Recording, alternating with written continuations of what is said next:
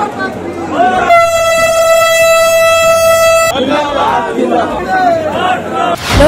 Cities में आपका स्वागत है। मैं हूँ आपके साथ प्रीति झा। देश की सातवीं वंदे भारत एक्सप्रेस अब पटरी पर दौड़ने लगी है। वहीं बता दें कि ट्रेन जो है, वो हावड़ा से न्यू जलपाईगुड़ी के बीच चल रही है और वहीं बिहार में एकमात्र स्टेशन, बारसोई स्टेशन पे इसका स्टॉपेज जो है, वो दिया गया है, जिससे लोगों के बीच काफ़ी खुशी है और लोग काफ़ी उत्साह भी है। बता दें आपको कि यह ट्रेन बारसोई पहुँची और वहाँ पर जैसे ही इस ट्रेन को स्टॉपेज मिला, जो भी लोग वहाँ पर मौजूद थे, उनकी भीड़ उमड़ गई और इस ट्रेन के साथ सभी सेल्फी लेने के लिए भी उतर आए तो बता दें आपको कि एनएफ रेल मंडल के कटिहार जिला के बारसोई जंक्शन में बंदे मातरम ट्रेन के स्टॉपेज से लोगों ने जमकर खुशी मनाया। हावड़ा से एनजीपी, यानी कि न्यू जलपाईगुड़ी तक की दूरी तय करने वाले इस ट्रेन में दो मिनट का बारसोई जंक्शन पर भी स्टॉपेज दिया गया है और भारत के सबसे दूतम ट्रेन में शामिल Vande Bharat express train Barsoi station पहुँचने के अवसर पर स्थानीय सांसद दुलाल चंद्र गोस्वामी और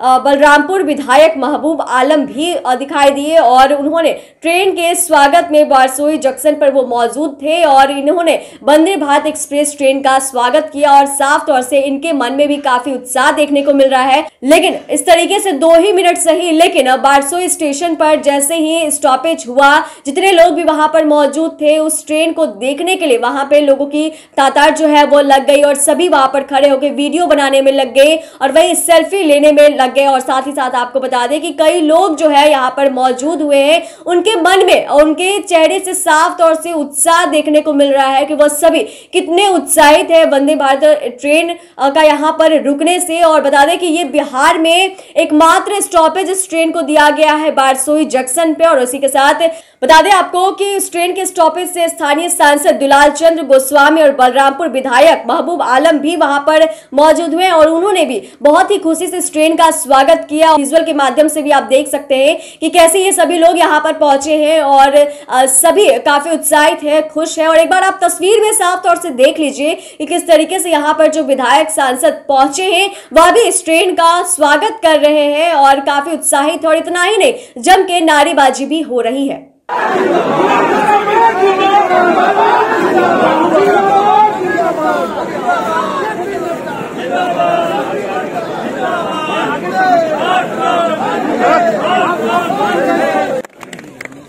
प्रमोद जी प्रमोद जी चेयरमैन हो गए।